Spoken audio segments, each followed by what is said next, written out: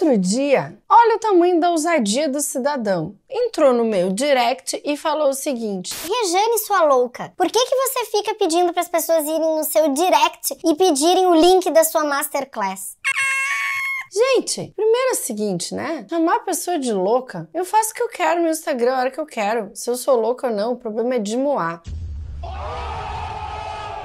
Vou ignorar essa parte e vou aproveitar essa perguntinha mal educadinha para trazer esse assunto aqui para esse vídeo que eu não sou boba nem nada. Roda, roda, roda a vinheta que depois eu conto.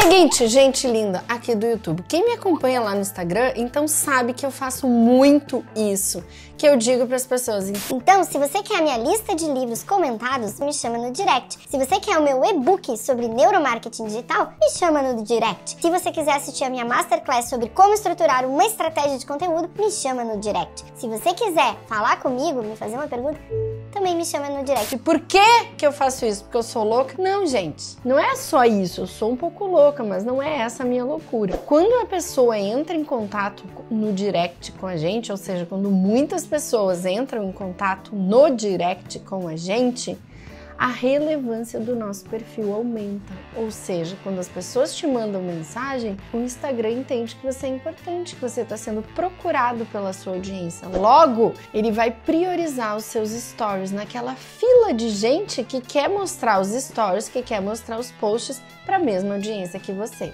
Não é incrível? Pois é, receber directs e responder directs aumenta a importância do seu perfil dentro do Instagram.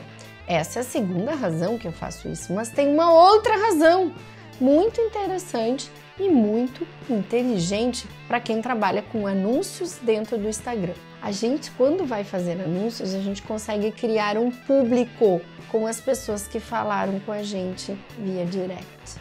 Sim, todo mundo que falou com você via direct, o Instagram bota numa listinha e aí você pode agrupar essas pessoas e colocar um anúncio na timeline dessas pessoas, do seu produtinho, da coisinha que você quer vender, daquilo que você faz. Não é legal? É muito legal. E o mais legal de tudo é a informação que eu vou dar agora, que no caso aqui da Like, a gente tem uma alta conversão dos anúncios que a gente roda para esse público que falou com os creators, no caso eu sou uma creator, por direct. Por exemplo, se eu tenho um perfil de um médico e esse médico recebe muitos directs e a gente responde esses directs, esse público aumenta, esse público que falou com o médico aumenta. E quando uma pessoa entrou em contato com o perfil e ela recebe uma resposta, ela tem um alto grau de conexão. Então, quando ela vê um anúncio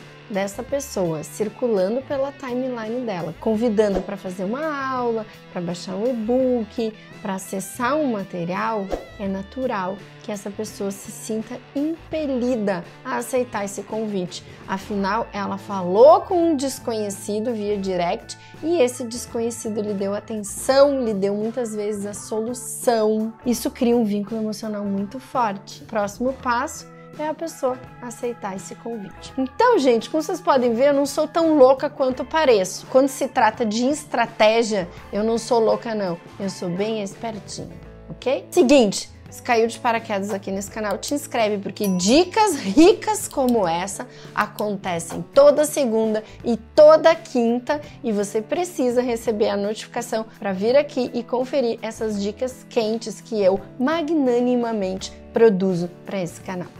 Valeu? Um beijo e até o próximo vídeo. Uma louca, uma feiticeira. Quando beija minha boca, me.